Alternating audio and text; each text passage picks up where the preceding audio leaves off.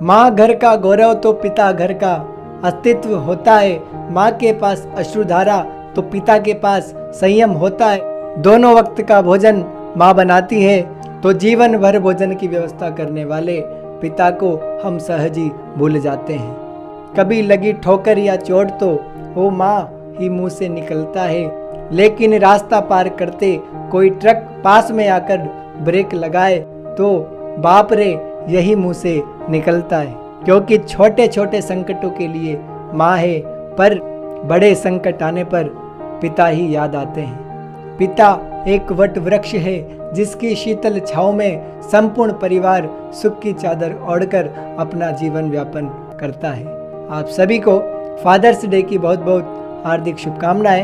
Happy father's day, all of you. Jai Hind, Jai Bharat.